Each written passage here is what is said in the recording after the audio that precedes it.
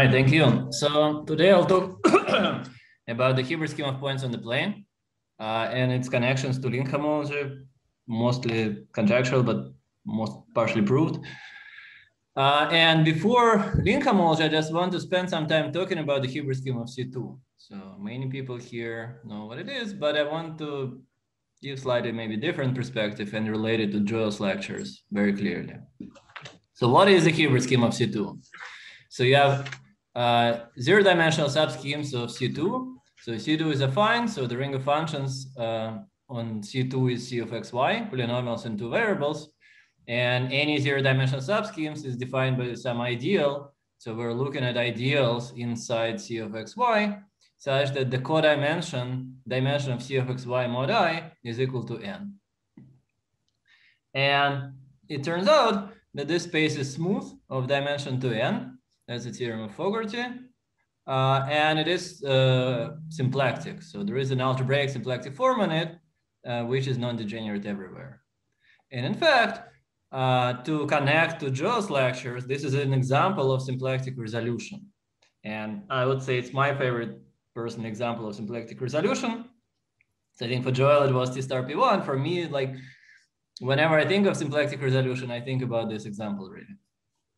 So why it is a resolution and what is resolution of?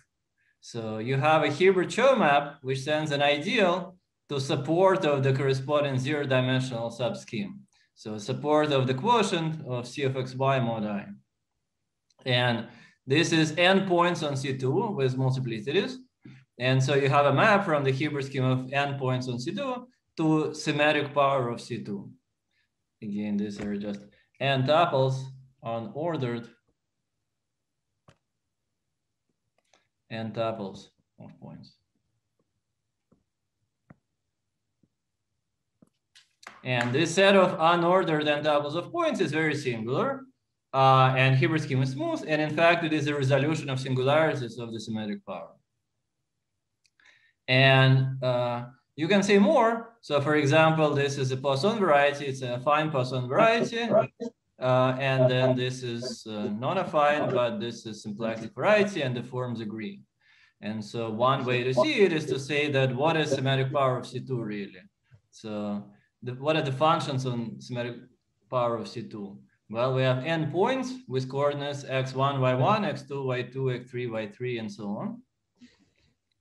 So we have functions on those, and this will be just polynomials in x1 through xn, y1 through yn and then we quotient by Sn. So we take uh, Sn invariance where the action of Sn is diagonal. We permute x's and y's simultaneously.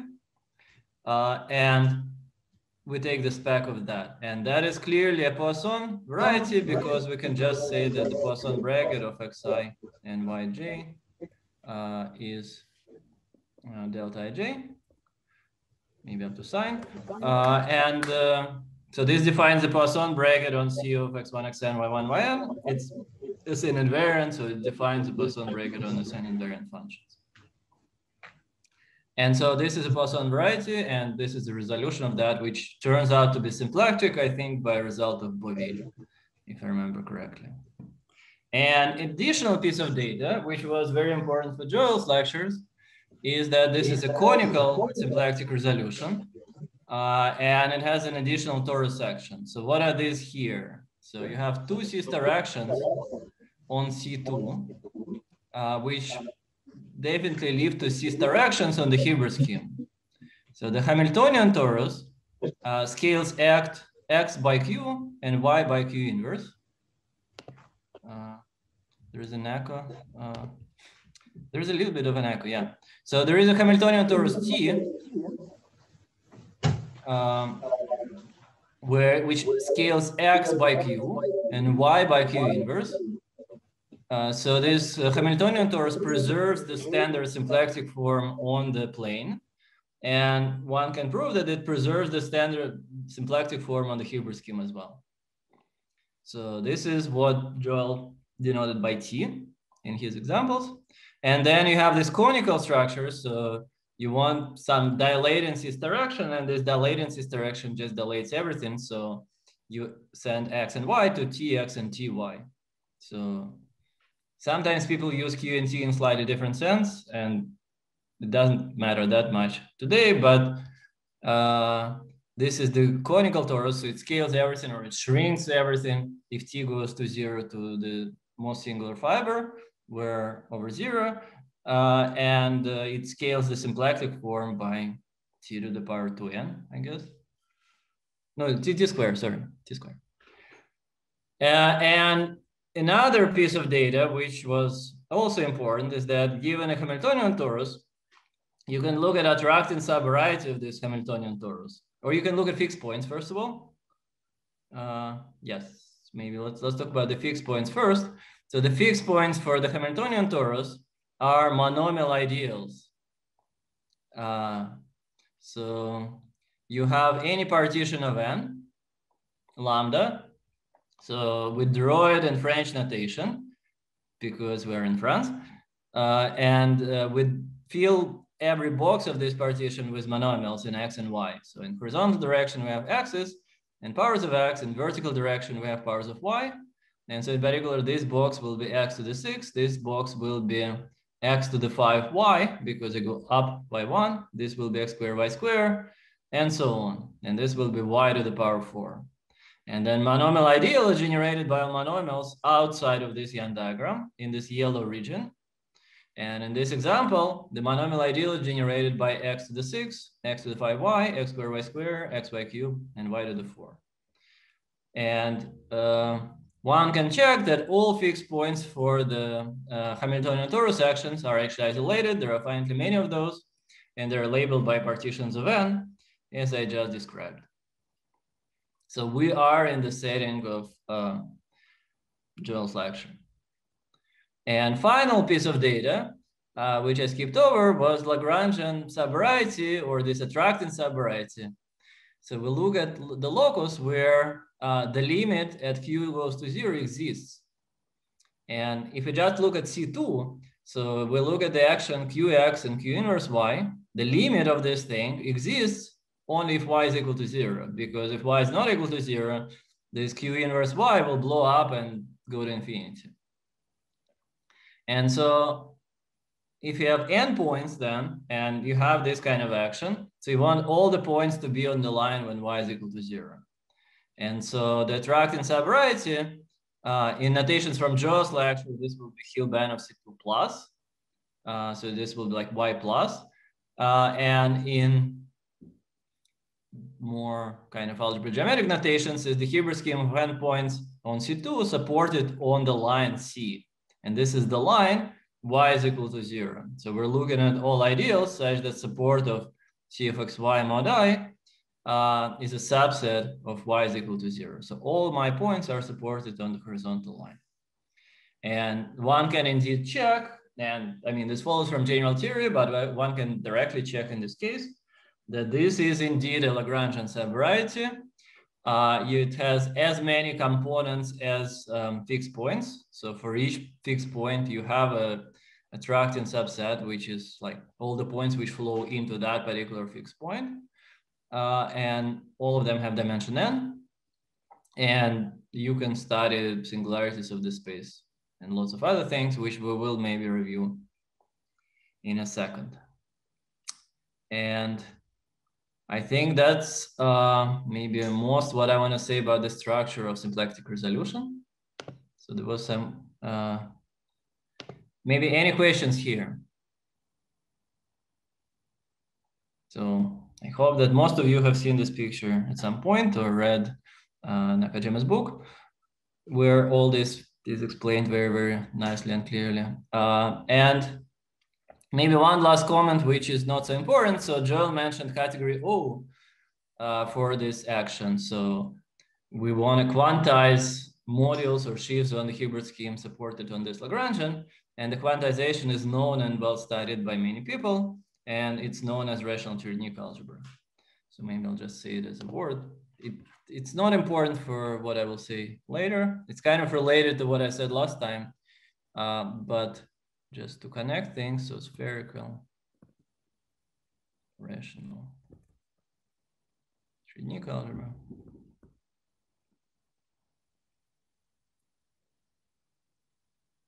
is the quantization.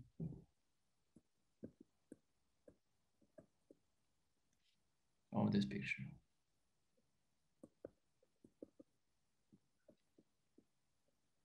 And in particular, there's a notion of category O, uh, where things are supported on this Lagrangian, and there is a lot of interesting studies. So you can look at, I don't know, Etingof's lectures on Cherednik algebras, and all this is discussed in detail. Uh, question, Echo is gone now. Okay. Right, so any questions? No questions, good. So let's keep going. So we need a bit more structure there. Uh, ah, okay, so a bit more structure is that we have, because it's not affine, we need to study some interesting uh, bundles on the Hilbert scheme. And the most obvious bundle is the tautological bundle T. So I think in Richard's notations would be E, but I stick with T. So this is a rank n vector bundle over the Hilbert scheme. Uh, and the fiber over an ideal is just the quotient of CFXY by that ideal. So this is really a vector bundle of rank n. And uh, given T, you can cook up lots of other vector bundles by taking Schur functors. Uh, in particular, you can have determinant of T or n's exterior power of T. And this is known as O of one. Um, so this is a line bundle on the Hilbert scheme. And in fact, it's an ample line bundle. So Hilbert scheme is non, not a projective variety because non-compact, but it's a you have embedding into some projective bundle over something affine using this of one. Let's say it this way. Said differently, uh, maybe another way to think about this O of one is to say that this is a resolution of singularity. This is actually blow up of some explicit ideal in here in symmetric power. And then O of one is associated with that blow up. Anyway, uh, question. How one has to change the uh, underlying space to get trigonometric or elliptic. Uh, yeah, so for trigonometric, we have to consider the Hilbert scheme of cross C star uh, or cotangent bundle to C star. Uh, and for elliptic, I guess I'm not an expert, but maybe you need something like T star of elliptic curve. I don't know. I forgot. Uh, anyway, so what I think, what I want to say in connections to Joe's lectures, just to uh, close this uh, general introduction, is that in fact, many people uh, started from Nakajima and then later on the other side by Braverman, Finkelberg and Nakajima identified the Hilbert scheme of C2 with both the Higgs and Coulomb branch of the same theory. So in the notations of Joel's lecture yesterday, we have to choose a group and representation. So the group is GLN. Uh, representation is uh, the Lie algebra of GLN or joint representation plus Cn. And it corresponds to this quiver where I have one vertex with label n, one loop corresponding to this kind of operator in the Lie algebra of GLN. And this uh, Cn corresponds to the framing, uh, which goes from the vertex framing vertex with label one, uh, which goes to this vertex with label n. And then again, it's quite classical by now that this is the Higgs branch of this theory. So if you take cotangent bundle to n uh, and quotient by g, with this, I guess, triple quotient, whatever. Uh, so this is the Hilbert scheme. And this is explained, for example, in Nakajima's book. And more recently, Braverman and Finkelberg and Nakajima uh, proved that if you do this Coulomb branch construction with the fine grass Grassmannians and all this stuff from last Joe's lecture, you recover this quiver. And so for people who like geometric representation theory, this is affine A1 quiver with framing. And so it turns out to be self-dual under this magical um, symmetry. And uh, we will kind of see this uh, some instances of this uh, in a little bit, although, I mean, I'm not sure you can recognize these instances of being the Coulomb branch or being the Higgs branch from my talk. Anyway.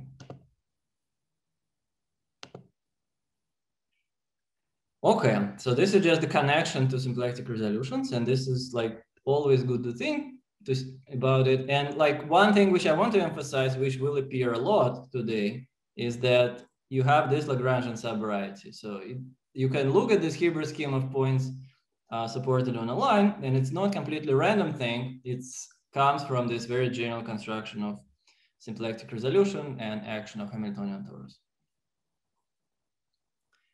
Uh, and we come to the main uh, conjecture uh, of myself, Andrei Negut and Jake Rasmussen. And by now, uh, it is my understanding that it's mostly proven by uh, Alexei Oblomkov and Lev Rozansky. So they have uh, five or six very long papers in arXiv, and they're working on even more.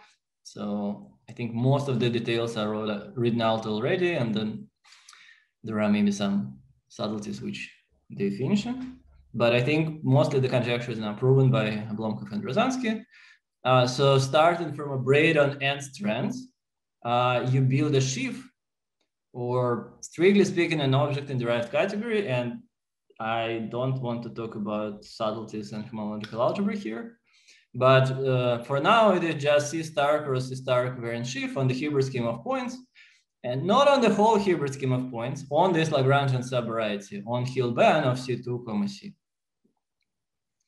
And so it is supposed to be C star cross C star equivariant with respect to both conical and the Hamiltonian action.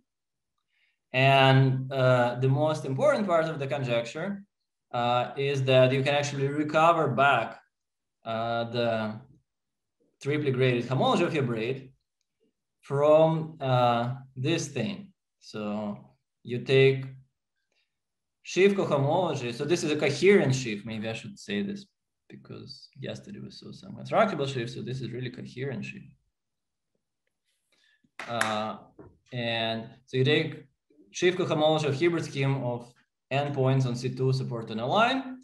Uh, and you take this sheaf and you tensor, you can take it by itself that's already fine and good for most purposes. But if you really want to get the full cohomology, you tensor it with the exterior algebra of you know, tautological bundle. So unlike previous talk today, so this T is not the tangent bundle, this is really the tautological bundle. Maybe I should uh, write it here explicitly. So this is a dual tautological bundle.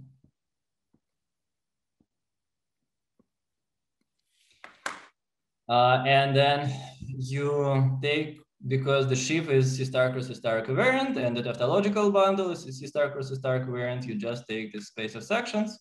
It has a natural or higher cohomology if there are any. Uh, so you take the character of C star cross C star action on that, uh, and that's your answer. So this thing is naturally triply graded. Um, so A degree comes from this part, from exterior algebra of tautological or dual tautological. Uh, Q and T degree uh, come from uh, the action of C star and C star uh, on the plane, on the Hilbert schema, and on the uh, sheaf. And you have to be careful, strictly speaking, if you do have higher cohomology here. So if you don't have higher cohomology, this is a complete answer and that's well understood. If you do have higher cohomology, they're incorporated all together in a slightly weird way. And this homological degrees also is related to QNT in a very subtle way, uh, which I'm not going to talk about. But in many examples that we'll see today, actually you don't have higher cohomology, so you don't need to worry about that part. But that, that's the most subtle part here. And again, so then the question is, well, so why do we care? As always is the question. So, and again, you can read it in two ways. So one way is to say, well, so you have an interesting sheaf on the Hilbert scheme. Can we interpret it as invariant of some link and maybe get some intuition or some kind of structural results from the uh, link homology, which might help us? And we might see some example, or at least I'll say some examples about this. Uh, and in the other direction, I mean, and originally this is like was the main motivation for this conjecture is that we really want to compute the HHH of beta, or we want to understand what it is and how to think about it properly. And if we can guess the sheaf of beta, we have lots of different tools to compute this right-hand side. So we have equivariant localization to fixed points. We have, uh, in under nice circumstances, we have homology vanishing. Uh, we have other tools just directly studying geometry of the Hilbert scheme to compute these things. So I will give you very, very explicit examples where we know this sheaf of beta very, very explicitly when we can compute the right-hand side. And so historically, this was the main computational tool to make predictions about HHH. And in many cases, like now, these predictions are proven. Uh, and that's the structure. So what else do we know about this uh? So the action of, as I said a couple of times already, there is an action of polynomial algebra on HHH of beta. And if we don't close the braid, we really have n different variables. And if we close the braid, they close up according to cycles in the corresponding permutation or uh, components, connected components in the link. And so these x's are just positions of the point somehow here. So we have Hilbert scheme of n points on a line. We have n points, they're all in a line and their coordinates are xi. And so in particular, the action of these variables correspond to the choice of support of the sheaf of beta. And very concretely, if beta, for example, is a knot, then all xi must act the same way on HHH of beta. And that we discussed several times. But on the right-hand side, this means that my sheaf is not a random thing. It's actually supported on the punctual Hilbert scheme of n points. So all points must be the same. And up to a sheaf, we can assume that all points are actually at zero. And so whenever we're talking about HHH of beta and beta closest to a knot, uh, we're talking about the shift not on the whole thing, not on the whole Hilbert scheme, not on the Lagrangian subvariety, but actually about the sheaf just on the central fiber on the Hilbert scheme of C2 supported the origin. And uh, one concrete example, which was again kind of motivating for most of things and developments that I've talked about in this course and most of developments I've seen last 10 years here uh, is that if you you have a torus knot of type n kn plus one, uh, then your sheaf is actually clear. So your sheaf is the line bundle of k on the punctual Hilbert scheme of points on C2. So again, let me repeat that. You have this line bundle of one on the Hilbert scheme of points. You just raise it into power k. If k is positive, let's say. But actually k could be negative as well. And me not write it, not to confuse you. So if k is positive, uh, you know a lot about this sheaf and its homology And If k is negative, this is still true, but uh, it's much more subtle. And I can't erase it, I'm sorry. Uh, and this is very explicit prediction. And many people, starting from Mark Haiman, studied this answer. And I will mm, maybe give you more concrete example in a second. But this is kind of one very specific uh, instance of this conjecture, uh, which tells us a lot. So in the right-hand side, we have very specific line bundle on the punctual Hilbert scheme, uh, tensor with a vector bundle fine. And then you want to compute its uh, space of sections or sheaf cohomology. You can do it by many tools and Haiman did it for you uh, in some sense. And so you just uh, have an answer on the right hand side. But to compute the left hand side, it took really a while and about like 10 years to confirm this prediction.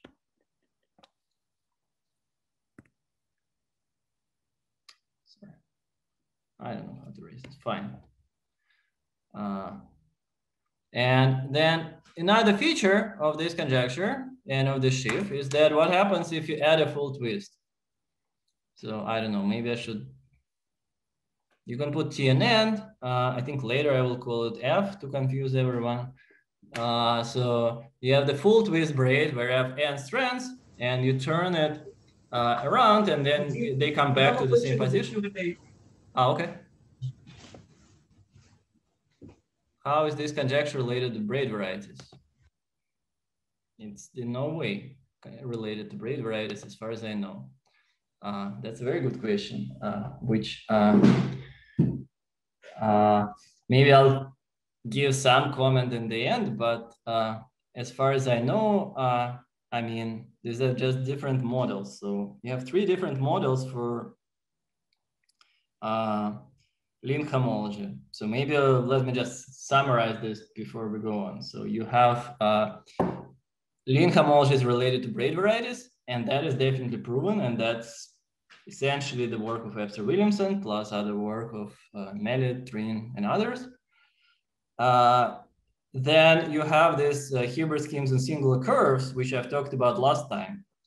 And that's a very different thing. And uh, the relation between the two is also not understood. So maybe I'll, okay. Sorry, my computer is weird.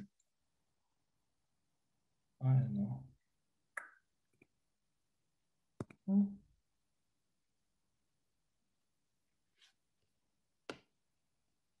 Oh. One second.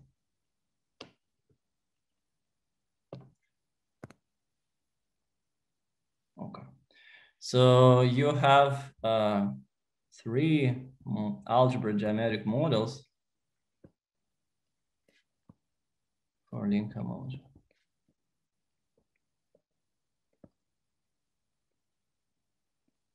And so just to put everything in context, so you have the braid varieties. And then you have Hilbert scheme of singular curve.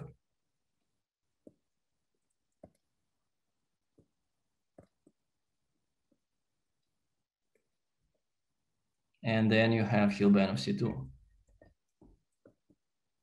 And there are three very different things. So here we have homology of some smooth, uh, non-compact algebraic variety with weight filtration.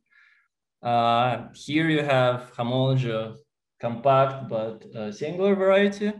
And the question is, what is the relation? So this is known to be related to link homology. So this is done. Uh, then this is still uh, conjectural how this is related to link homology, except for examples where we can compute things. And the relation between the two is supposed to be some kind of non-abelian Hodge uh, theory, which I don't know anything about, but I've talked about last time. Uh, and uh, then you can ask what is the relation between this and the conjecture that I just said. And again, that's a very good question, which is mm, not, I would say, understood at all. So physicists would say that this is some kind of geometric engineering. Uh, the relation here is kind of emerging and I will talk about. Uh, but like just purely by terms of algebraic geometry, I don't know immediately how to see this. So uh, maybe one way to get from braid varieties to the Hilbert scheme. So just uh, for Joel, so there is a relation to character sheaves here. And one can hope that there is a relation between some kind of derived version of character sheaves and the Hilbert scheme of C2. So maybe this would go through character sheaves and I will say a couple of sentences later. But again, this is not understood at all, I would say. And um, the relation here is kind of emerging slightly better, but this is only for algebraic knots and it's still not clear. So, I mean, all this is pretty much conjectural, and that's why this is hard. So uh, what Oblomkov and Rozansky did, I will say in a second, and they did something very different. They didn't, they didn't relate to braid varieties, and they didn't really use geometry here. They did something different. Yeah, sorry, I didn't really answer the question, but uh, I don't have much to say, say. Any other questions?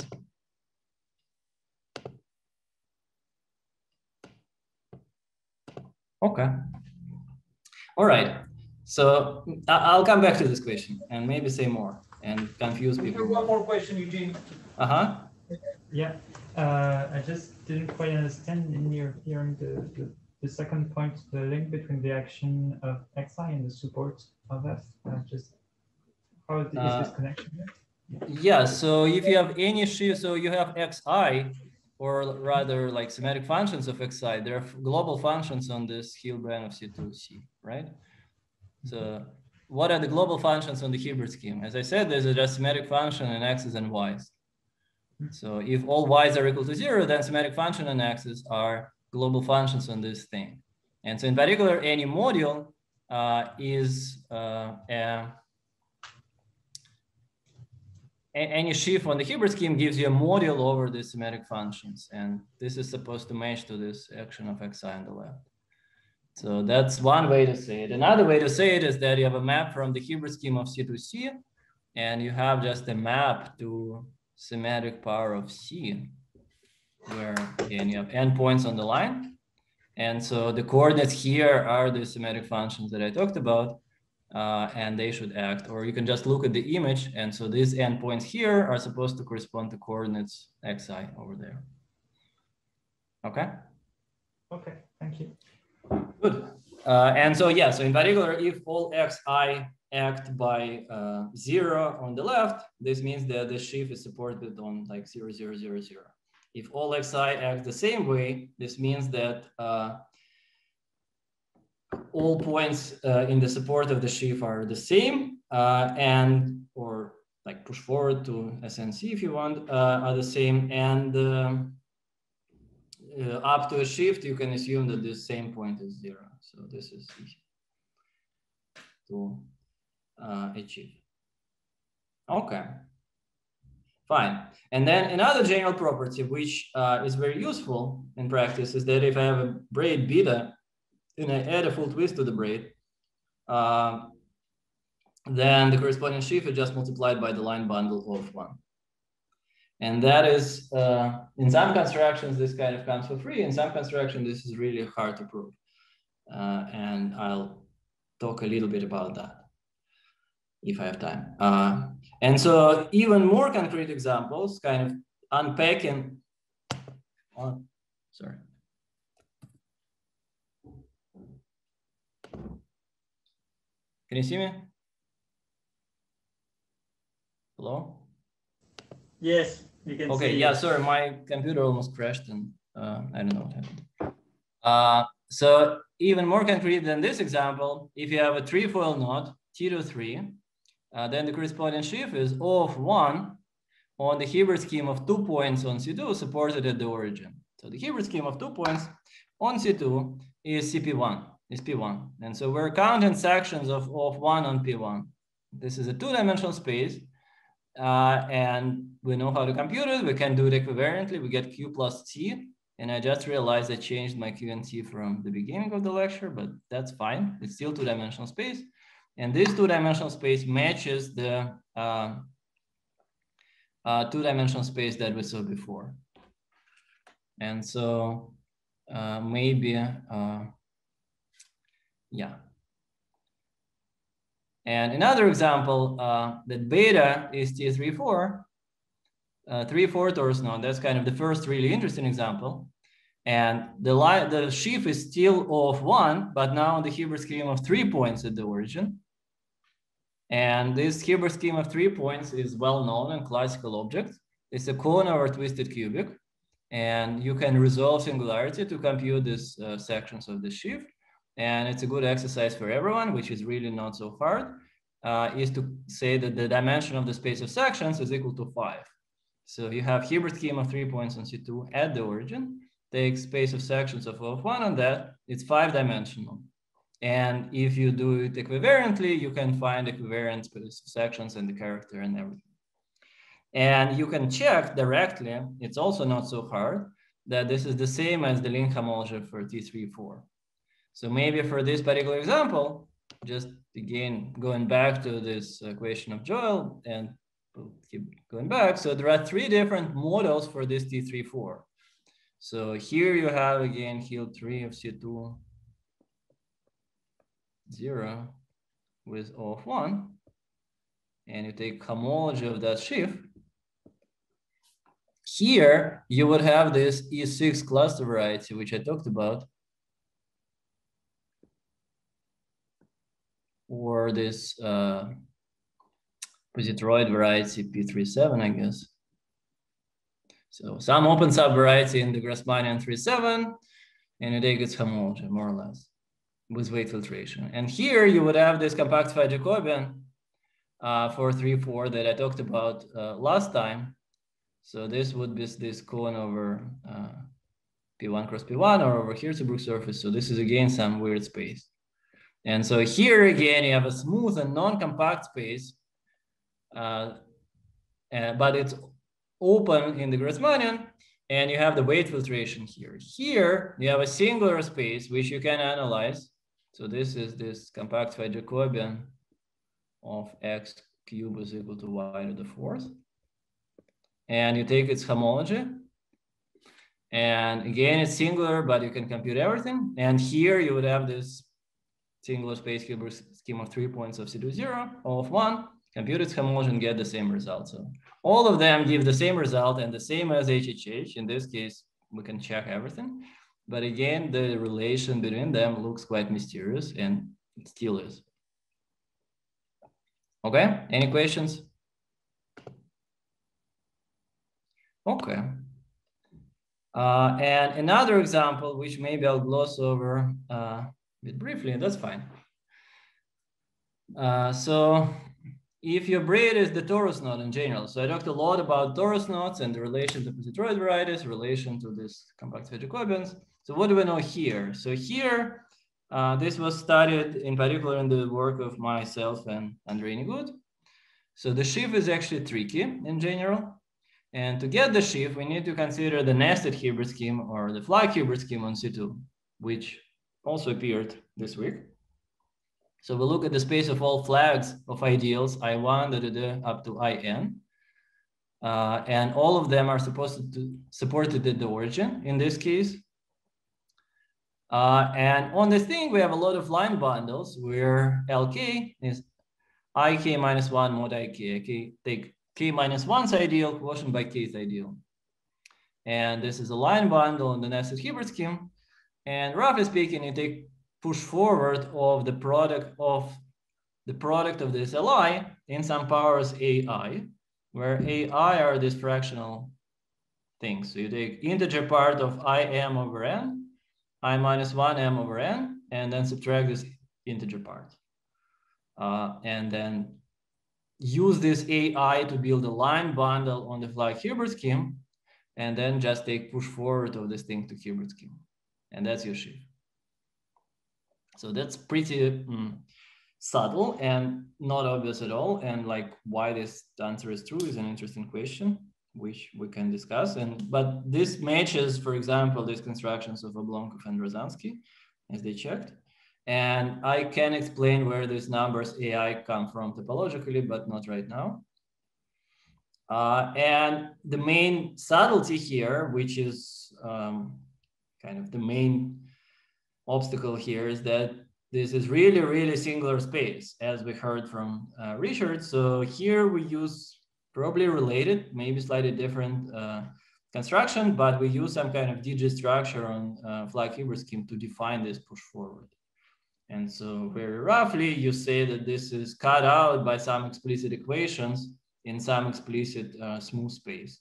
And then you just use that to define the virtual structure sheaf and everything. But again, like it would be nice to have a better understanding, for example, like how this structure that we use here is related to uh, the one that Richard talked about, and I don't know.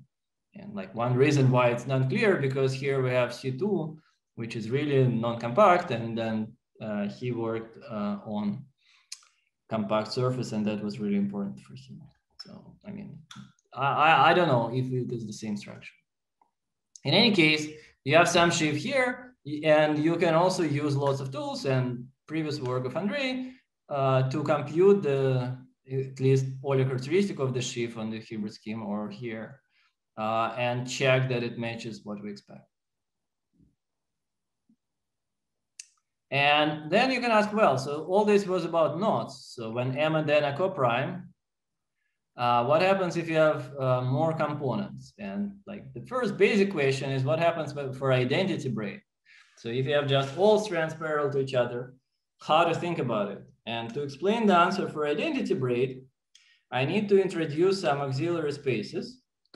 So I need to uh, look at the following Cartesian diagram. So Hilbert scheme of n points of C2 projects to Sn of C2.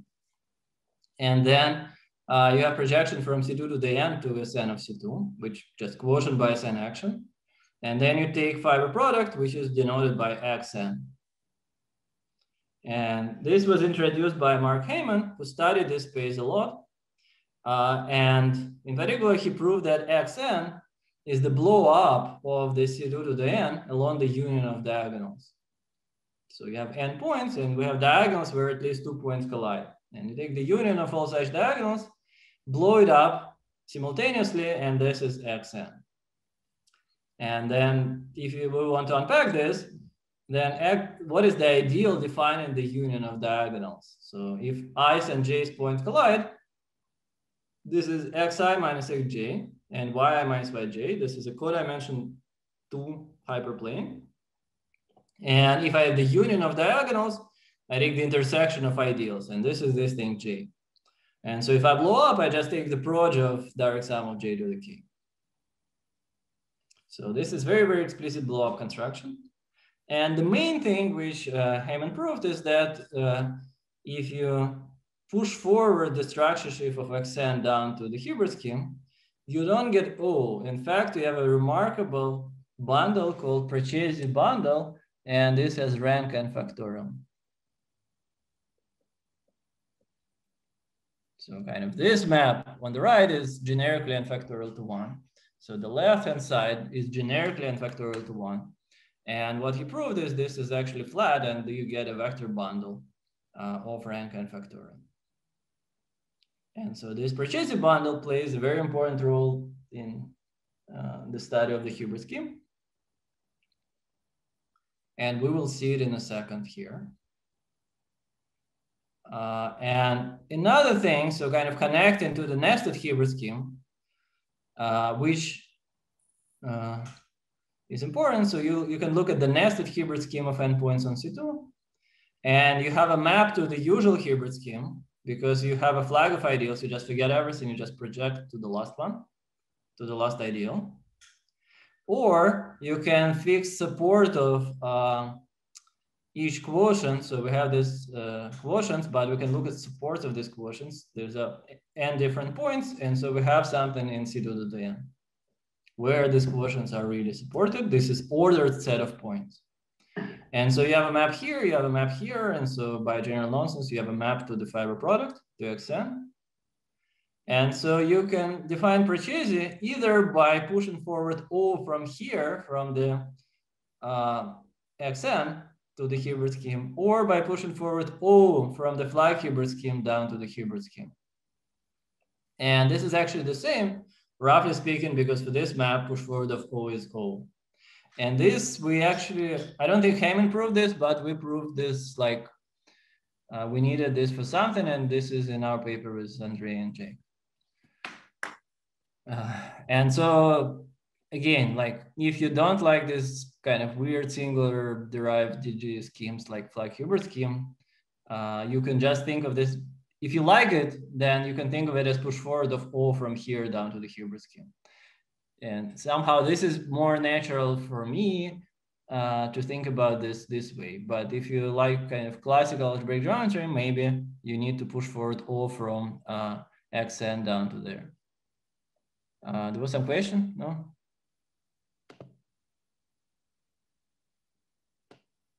Okay. Anyway, so there is some vector bundle of rank n factorial, whatever it is, who cares?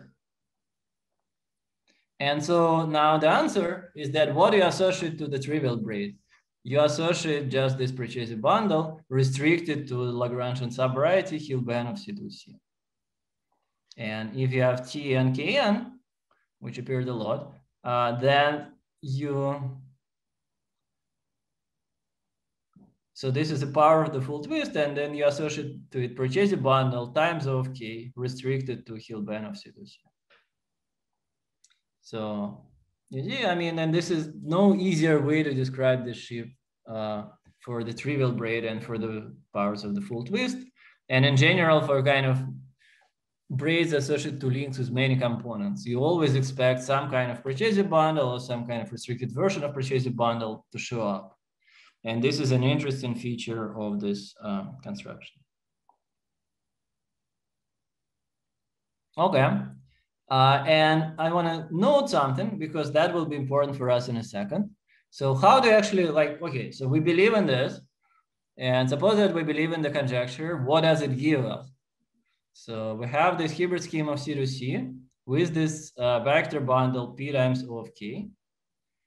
Uh, so the space of sections here is the same as space of sections upstairs on Xn of C to C, fine of O of k by projection formula. So this is just the projection form.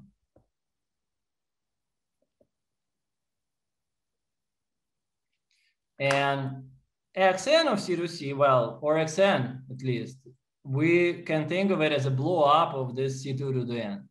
And so we know how to compute the space of sections on a blow up of O of k. This is just the kth power of the ideal that we started from. Uh, so maybe I'll write it as a separate line that if you just look at the sections of xn with O of k, this will be j to the k. Uh, and if instead we have the c to c, well, we have to quotient by y's, and that's what we do here. So we quotient by maximal ideal in y's. And um, well, yeah, I wrote it here already that h0 of xn of k j to the k just by this blow up formula. Uh, and then j to the k is actually free over polynomials and y's. That's not obvious at all, but that was also proved by him. And so to sum up, so if we believe in this conjecture, this says, the conjecture says that this uh, j to the k mod y to j to the k should be the invariant that we associate to nk and torus uh, link. And one theorem from lecture two is that uh, this is actually true. So maybe uh, this is the HHH of TN KN by lecture two. So we proved that this is actually true. Uh, and uh, so in this case, conjecture is true. And that's a very non-trivial check because we have this very non-trivial ideals and stuff. And but of course, this particular computation was a motivation for that theorem. We wanted to prove that the HHH of T and Kn is given by this weird formula. And if you remember, so I said that um, this j to the k mod yj to the k. So the way I uh, sketch the proof, I said that you need to deform your homology. So you need to introduce y's and then kill y's like this. So in this sense, you have a sheaf on the, you want to describe a sheaf on this Lagrangian subvariety, but it's much more natural to describe a sheaf everywhere and then restrict to Lagrangian subvariety. And so in some precise sense, this bifurcation business corresponds to extending the sheaf from uh, Lagrangian subvariety to the whole Hilbert scheme of points of C2. And so, uh, right, so let me sketch at least uh, some ideas why this might be true and what is like the relation to other stuff that we know. So the first approach that I certainly don't have time to talk about and that requires like their own uh, course of lectures by Oblomkov and Rozansky uh, is that uh, what they do, they define a new link invariant. So they say like, forget about HHH. Uh, they use matrix factorizations over some very, very complicated space, roughly related to the flag Hilbert scheme of points or the Hilbert scheme of points, but it's like a bunch of Lie groups and Lie algebras. And you have matrix factorization of some complicated potential in there. Uh, and then uh, what they prove is that first of all, this is a link invariant. And secondly, more recently, they proved that this is isomorphic to HHH. And so then how to get from there a sheaf on the Hilbert scheme, you just kind of push forward from a field to Hilb or from whatever their setup they're using, the critical locus of their potential to the Hilbert scheme. But like their theory is intrinsically related to the Hilbert scheme. And so it's kind of natural to get a sheaf from there. but the hard part is, of course, to prove that their theory is isomorphic to HHH, and that's what they uh, recently proved. So a different approach, which is like, there are two more approaches which are not completely uh, finished and mostly yet conjectural, uh, but there is a lot of progress there. Uh, is uh, one work of uh, myself and Wedrich and myself and Hogancamp and Wedrich. So we want to understand link homology in the solid torus. So uh, this is the same thing as to have invariance of beta up to conjugation.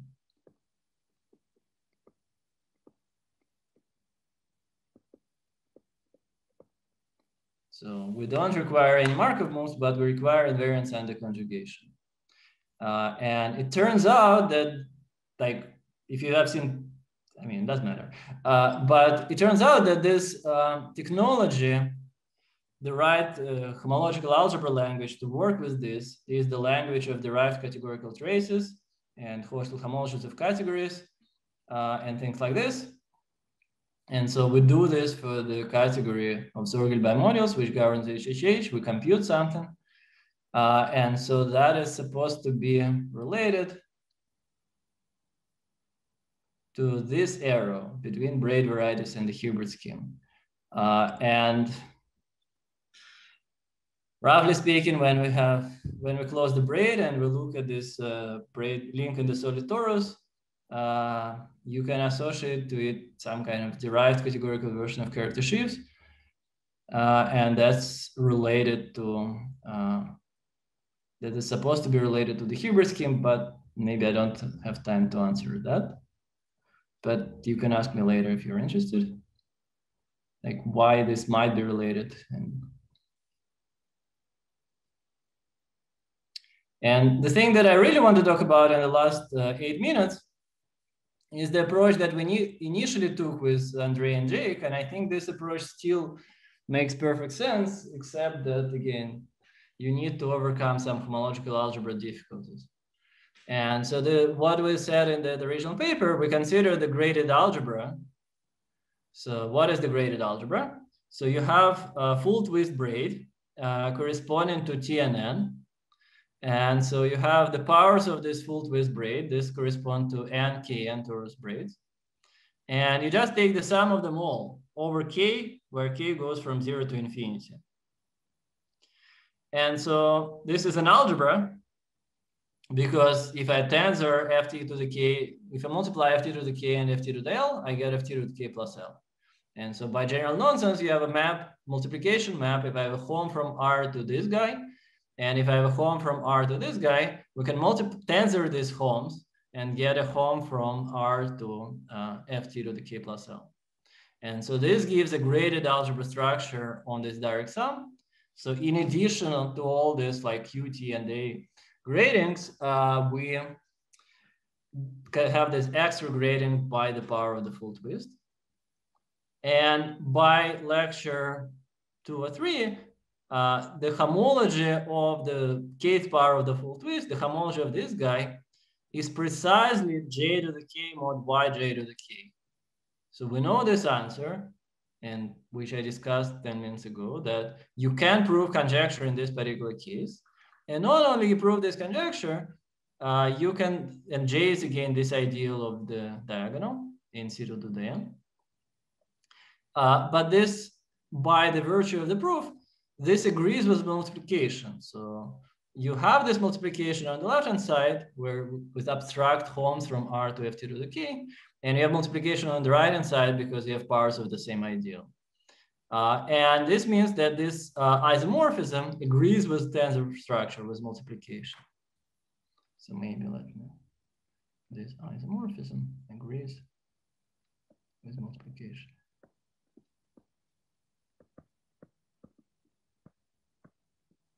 And so not only we know this thing as a vector space or as an X module or XY module, we really know this thing as a graded algebra. And given an arbitrary braid, uh, we can construct this uh, complex of Soergel bimodules, whatever. But we have naturally a module over this graded algebra because we can take home from R to T beta times F to the K. Uh, so this home uh, is a module over this algebra because again, I can add an additional ft to the L in here and get ft to the k plus L. And so this is a graded module over a graded algebra. And so this gives a coherent sheaf on proj of A. And proj of that algebra, as I said, this is exactly this xn of C to C. So that's why I talked about the space xn, because you can write it as a proj of some very explicit algebra.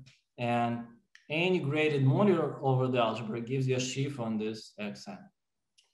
And so in some sense, we're done. And again, the real question is to lift it from this kind of naive computation to the level of uh, DG or derived categories. And this is still uh, not done. But I think like this is one way to go. Uh, and uh, so what we expect, and we write very clearly what should be true that we have some kind of DG functor from the homotopy category of Soergel bimodules to derived category of Hilbert scheme of C to C. And it has a lot of interesting properties, which we list quite carefully in that paper. Okay. And so maybe uh, I have a couple of minutes before saying thank you. I want to comment again on Joel's question. So I didn't really explain where was Joel's question? Here. So I didn't really explain uh, what is the relation here and what's it has to do with character varieties. But here uh, we have a singular curve, like again, how you would expect to, to have it here. And so the idea is to look at the same graded algebra. And so the same graded algebra, so maybe as a note, put it later. I don't know, let's find it here. So note, and this graded algebra.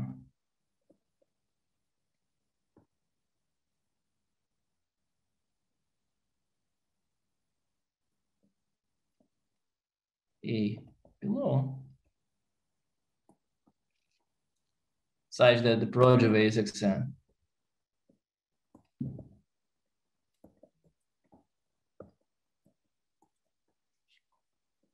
Can be read, can be seen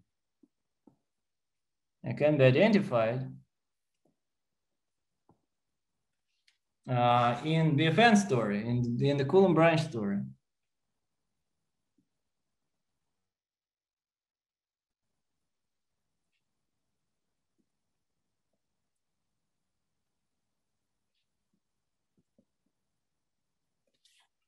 And I think Joel briefly mentioned this last time that you, uh, I mean, you can build your Coulomb branch as spec of some complicated algebra, but you can also build the resolution of Coulomb branch in nice cases as proj of some algebra. And this is exactly this algebra, except that we don't want to get the Hilbert scheme, we want to get Xn. But this is kind of minor difficulty, which can be uh, overcome or like we think we know how to overcome. And so one concrete thing about the graded algebras and graded modules we should follow up from this is that you take uh, some gamma in GLN. I think I called it Y last time, whatever. Uh, so we can consider the Springer fiber for gamma. We can consider the Springer fiber for gamma times X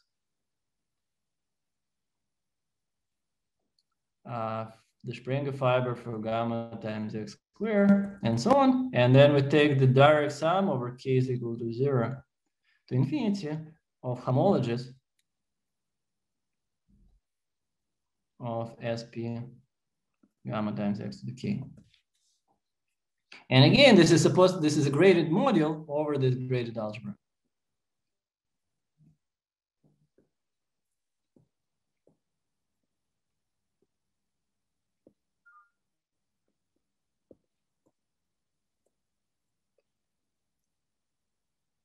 And so this would be a Schiff approach. And one can ask lots of questions like how to explicitly construct the action uh, and how to uh, quantize this and how to quantize this graded algebra to some kind of Z algebra that other people studied. Uh, but uh, there is some work on this direction and mostly done by Webster and others. And also there was work in progress uh, by myself, uh, Oscar and Oblomkov.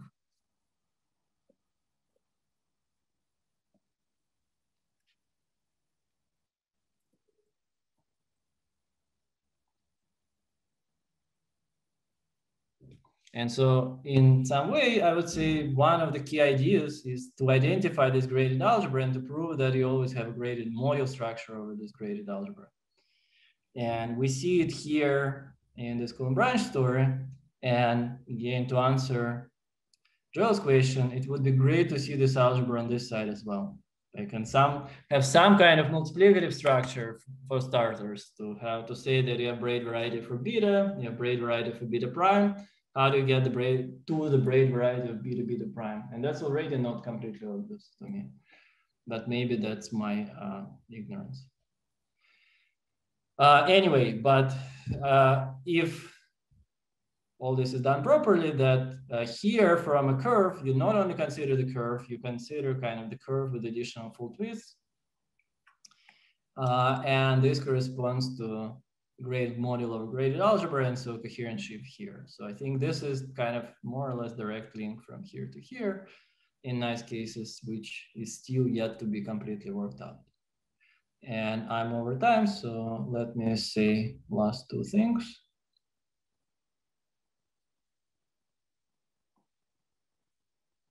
So first of all, thank you very much, everyone, for coming to these lectures. I think it was great and there were lots of great questions. Uh, great thanks for organizers of the school. I think it's uh, awesome. And I personally learned a lot from um, Richard and Joe's lectures, and I hope to learn more from other lectures. Uh, and, and, as an advertisement, if you want to learn more about link homology and some connections to topology, to algebra, geometry combinatorics, algebraic geometry in particular, uh, I'd like to advertise AIM research community, which you can find by this link. So this is sponsored by American Institute of Mathematics in San Jose. Uh, and uh, this summer we have a lot of reading groups and other activities specifically for grad students. So if you're grad students uh, or postdocs who want to learn more, what is a link homology? Why do we care about this? What are the braid varieties? What are other structures? There are five or six reading groups specifically aimed at these problems, like how to compute link homology. There is another group. So if you're interested in this, uh, please uh, register here or write me an email and I'll give you all the contacts. So thanks a lot and uh, see you all later. Thank you very much. Can I paste the link? Yes, I can. Any questions? Online, offline? So that in the P equal W conjecture for a curve, Uh-huh. you have uh, three spaces. You have this uh, Dolbeault moduli space, Betti moduli space, de Rham moduli space. But uh, here it seems that it's different from the three spaces you have. Here you have just two of them, I think. Uh, so you have this Hilb, Hilb NC2. Do you have any? no Hilbert NC2 has nothing to do with like Dolbeault or the Ramaration. No, no, no. This is completely different story. So like the, Okay, the braid variety and the Hilbert scheme of singular curve, they are, and I always forget, like there are two of the three spaces that I mentioned, that you mentioned. And somehow the relation to Hilbert scheme of C2 is very, very different. So for kind of for character varieties and for P is equal to W, I think the closest analog is the work of Hausel, uh, Letelier, Rodriguez Villegas, and others. So they say that you can compute uh, Poincare polynomials of character varieties uh, with weight filtration or with this perverse filtration or of the Hitchin moduli space with some extra data. Uh, and so all these things are expressed as some complicated formulas with Macdonald polynomials. And so somehow the Hilbert scheme of points keep track of that. And it says like all this you can interpret as some shifts on, uh, on the Hilbert scheme of points. And Procesi bundle also appear in this work of Hausel and collaborators. And so if you've seen that, like that is the closest analog, but this is not part of the, uh,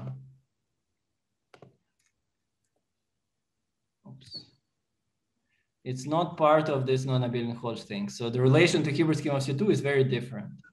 And like physicists, I think say that this is some kind of geometric engineering, whatever it is. Uh, I don't know what geometric engineering personally, but that's what they say. But I want to emphasize this is a very, very different thing. So there you're talking about kind of related varieties. Here you suddenly jump from like studying homology of a variety to homology of a sheaf on some completely different variety. And so this is very, very different thing to do. Okay. Any other questions? to continue on the same question, but uh, sort of in an ideal page theory, you have like space in the middle. So like, uh, I guess uh, de Rham moduli space. Uh-huh. So is there analog of this, like so- something between like braid varieties and uh, I Hilbert don't know. Uh, that's a very good question. I don't know.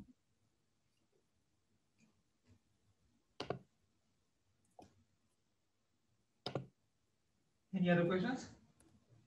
So I just put the link to this uh, AIM uh, program to the chat if you're interested in. All right, so let's thank Eugene again for being here.